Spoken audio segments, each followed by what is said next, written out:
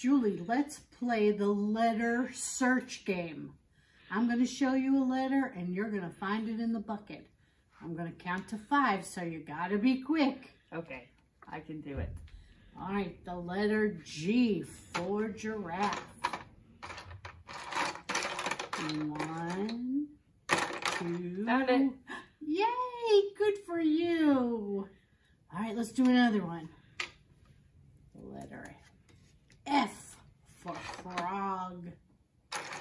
One, two, three.